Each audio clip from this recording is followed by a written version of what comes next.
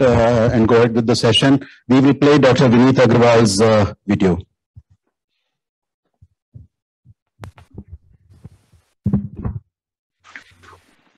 A very good evening to all of you, and thank you to the Jaipur Surgical Festival Organizing Committee to give us the opportunity to interact uh, with you today. My name is Dr. Vineet Agrawal, and I lead the Ethicon Education Solutions for India. And today I am going to present to you a topic called the science of smoke. Uh, the reason why we are talking about it now is uh, because of this image, and it really reminded uh, me of the situation we are in today.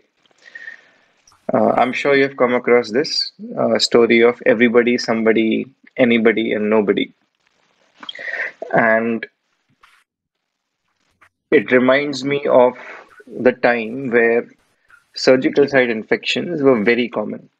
Uh, this was before uh, disinfectants and sterilization was uh, common. And it was only when somebody discovered that because instruments, our hands were not sterilized, they were not cleaned, it was resulting in surgical site infections. And then the importance of microorganisms and how to deal with them. Now, we are in a similar situation when it comes to smoke. Now, smoke has been around, uh, surgical smoke has been around since the time surgery started, uh, since the time there was introduction of uh, energy sources. And because it has become uh, such a part of the OR environment, uh, it is accepted that there is going to be smoke and nothing needs to be done about it. But just like SSI, there is a lot of merit in dealing with smoke and to ensure that there is a smoke-free ORM environment for everybody.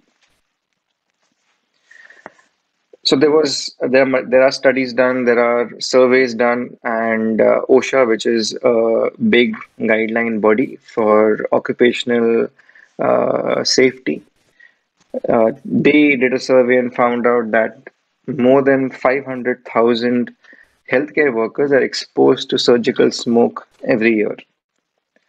And when they did a survey with around 500 nurses, they found that three fourths of them had at least one symptom related to surgical smoke. And these symptoms could be, uh, you know, a cough, irritation in the eye, headache, uh, and so on. And when further studies were done of the actual smoke which was captured, so they found out the contents of the smoke and they came down to these studies where if you're using say an ESU, which could be a monopolar, bipolar, uh, every gram of tissue that you burn is equal to inhaling six in unfiltered cigarettes in 15 minutes. And there are also studies which are showing mutagenicity. So the smoke, just like surgical smoke, uh, just like cigarette smoke, even surgical smoke uh, has the potential to cause uh, some harm equivalent to cancer. so what I'm trying to say is uh, surgical smoke is dangerous. Uh, you need to think about it. You need to be aware of it. Uh, however, there is no study showing the safe level that if you're exposed to half an hour or if you're exposed to a certain volume uh, then you'll be okay. And beyond a certain point, then you need to really worry about it. So we're going to explore uh, smoke more in detail. Uh, what are the components? Uh, what are the potential risks to you, the patient, and anybody in the OR? And what are the practical steps we can take today uh, to manage smoke? So first thing for us to understand is smoke can be created by a lot of devices. So anything which is energy based, uh, whether it's a drill, pencils, saws, even lasers, all of them are going to create a surgical smoke. And what may differ is uh, the size of the particles, the volume of smoke, uh, etc.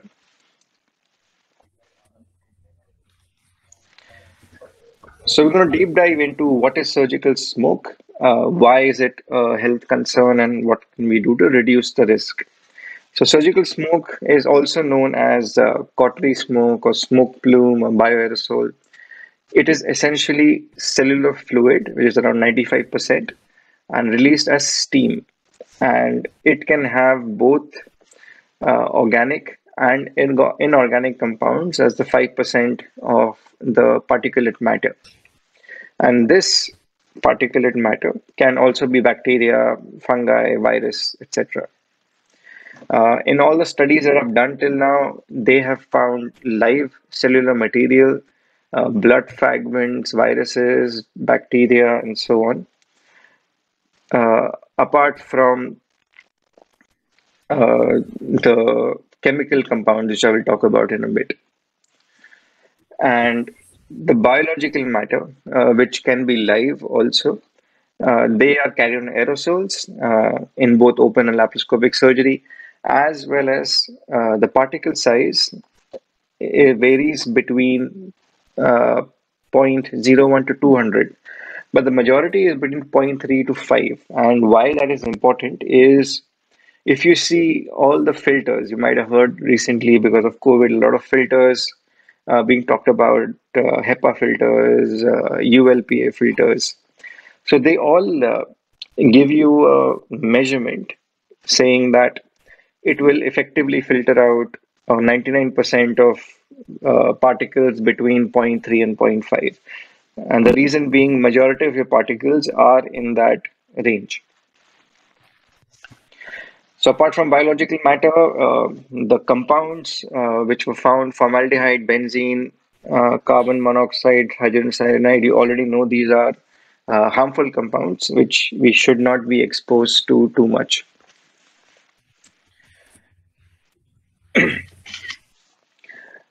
Uh, in one of the studies that was done, they found all these bacteria and viruses in smoke uh, such as Hep B, HPV, HIV, tuberculosis. And what was also interesting that uh, when they took these bacteria and viruses and they tried to culture it and grow it, they found that they could be regrown. So what it means for you is there is a potential of getting infected uh, even through surgical smoke. So our body does have some mechanism to counter smoke and take care of it. But when you study the respiratory tract, um, the bigger particles, yes, they do get trapped uh, in your nasal cilia and even in your throat and bronchus. But as the particle size decreases, so you saw the particle size was 0.3 to 0.5, they reach the alveoli and they tend to lodge themselves which results in chronic diseases.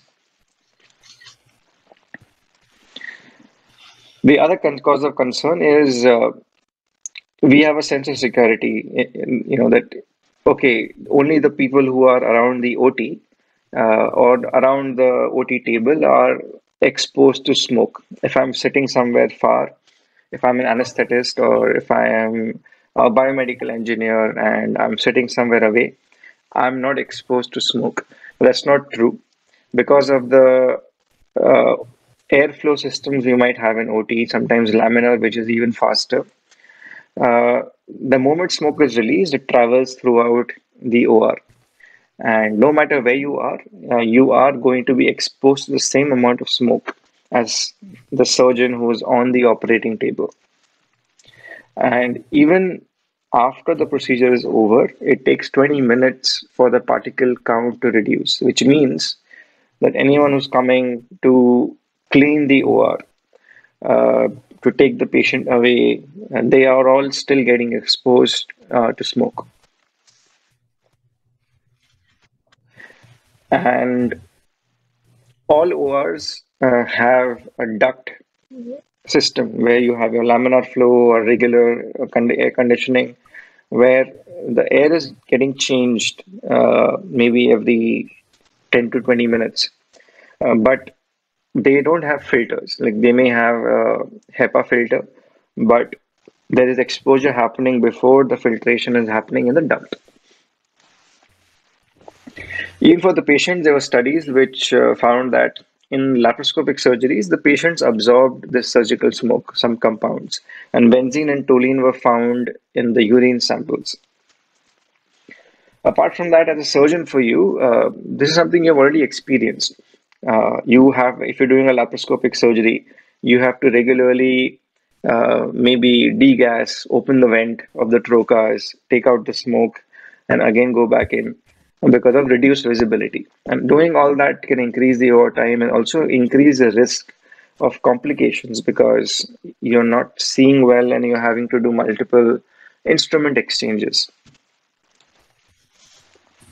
So, what do we currently have uh, for surgical smoke? So, one is your own mechanism that I uh, spoke about just a while ago, your own ciliary motility and the mucus, which can filter out particles. But what happens with long exposure is the ciliary motility is damaged. So it's not moving back and forth uh, as effectively. It's not capturing those particles as effectively. So that's not something for us to rely on. Uh, the other things which became very much in focus uh, in 2020, all your different masks and respirators. So the N95 masks. So what N95 is, 95% of particles that are more than 0.3 microns. Now it's a good, uh, it is a good way to filter out smoke, but it's difficult to breathe. Uh, it's not the most reliable. If you have facial hair, it's not going to stick properly. So there's always going to be some smoke that you're going to inhale. Uh, PAPR was used a lot by anesthetists and um, endoscopists who are getting exposed to uh, secretions a lot. So it's a full face covering and it has its own breathing mechanism. So although very effective, but you can't be wearing this uh, every day in the OR. The other things are your non-woven mask and cloth mask. They're practically useless because it's a loose fit and you are inhaling smoke. Uh, the other things which came in focus uh, were HEPA filters. So HEPA can filter out 99.9% of particulate matter more than 0.3 microns. So it is a good filter. Uh, however, the disadvantage of fitting a HEPA filter, exclusive HEPA filter, the machine has to be on all the time. It's noisy and it has to be within five centimeters of surgical field. Having a HEPA filter in your duct system is not going to help.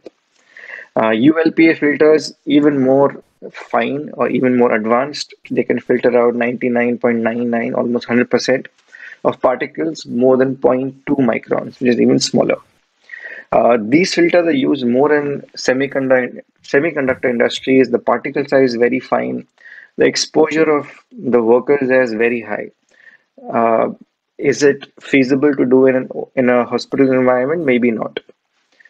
Uh, some of you may be using wall suction, uh, just suck out the air, but that's only suction, there's no filtration. That air is getting circulated somewhere.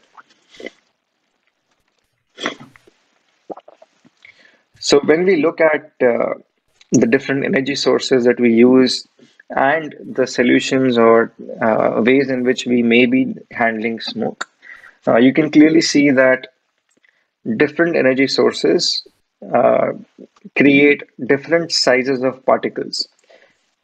And that's inherent to the uh, energy source itself. So surgical mask, you can see all red. It doesn't help you with anything.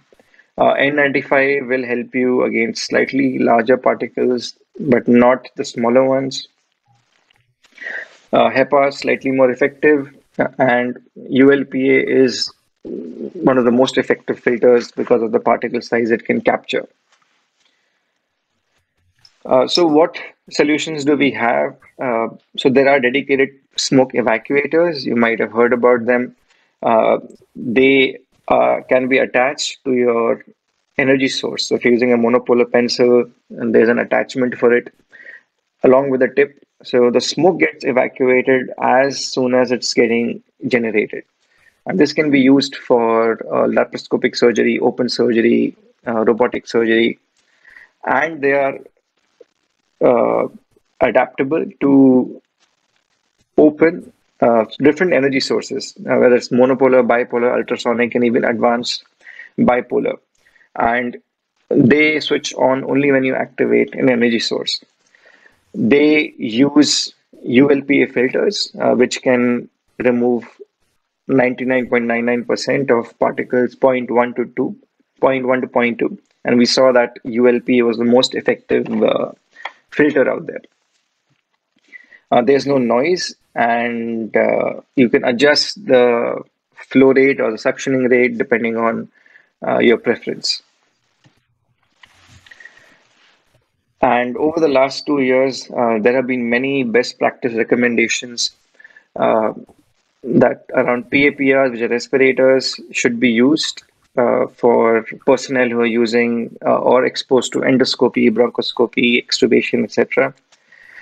Uh, smoke evacuation devices were called out specifically uh, to handle smoke.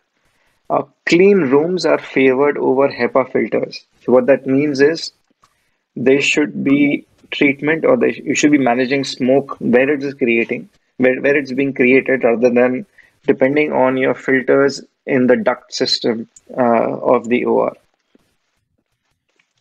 Uh, apart from SAGES, there are other guidelines. Uh, uh NIOSH, OSHA, AORN all have uh, given a lot of emphasis on managing smoke and what every employer needs to do for the employees. In this case, what the hospitals need to do for all the OR personnel. Uh, even AORN in 2017 gave guidelines for surgical smoke safety. Uh, I'm sure we'll be able to share this with you. It's uh, commonly available. And uh, it has detailed guidelines about how uh, the team should be managed and uh, what are the precautions we all should be taking. Apart from that, there are other countries which have given guidelines now, in all of this, uh, unfortunately, you will see that uh, from India, there are no specific guidelines. Even when you look at NABH, which is our main body, uh, they also mention pass, uh, smoke in passing that there should be ventilation in the OR, etc. But there are no dedicated guidelines uh, of uh, smoke management. And that brings me back to the first slide I showed you about that somebody uh, anybody, nobody. So we need your help. We need your support uh, to create awareness, uh, to push for more policies, guidelines around smoke evacuation, so that all of us can be safe. Uh, we shouldn't need to wait for complications like SSI to wake up and you know take notice and take actions later the time is now. Uh, there is good technology available. Uh, there are good systems available for us to execute all of this. Uh, if you wish to know more about uh, smoke evacuation devices, uh, please feel free to reach out to the Ethicon uh, sales representative at the hospital you're working, and we'll be happy to you know help you with more information. We can also conduct these sessions for the stakeholders in your hospitals, whether it's the nurses, the surgeons, biomedical staff. So please feel free to reach out to us and uh, we'll be happy to help. Thank you so much for your patient listening. Thank you. Thank you very much, Dr. Vineet. Uh, it is uh, very uh, kind of uh, heartening to know that Ethicon is thinking not only about the patients, but even the safety of uh, the healthcare workers. I'm sure um, uh, that uh, many of our uh, faculty and delegates uh, would probably interact with your team members to know more about it and and explore the possibilities of prevention of smoke-related injury to the healthcare workers. Thank you very much. Thank you. Thank you so much, sir, for this opportunity. Vinay, yes, we can close today's sessions. Thank you. Thank you very much, uh, Dr. Vineet, uh, for uh, such a elaborate talk on smoke and surgical smoke evacuator. So for uh, thanks, uh, thank you all delegates, uh, all chairpersons and faculty members who uh, have been with us uh, from the morning. And to conclude uh, today's uh, session, uh, I would like to uh, invite all of you uh, at uh, 8 o'clock uh, at Marriott Hotel. We have a banquet dinner uh, today. And tomorrow morning, we will start the session sharp 9 o'clock. Thank you. Thank you very much.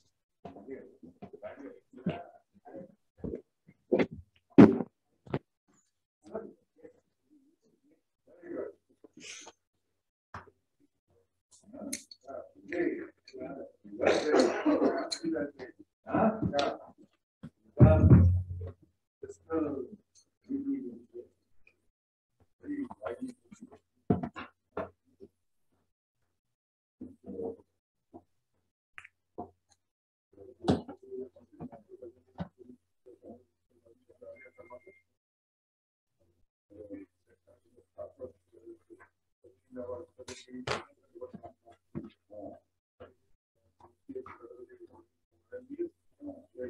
you.